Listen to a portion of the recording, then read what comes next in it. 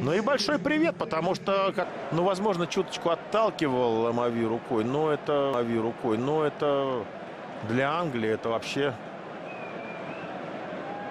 ничто. Поэтому я с арбитром соглашусь.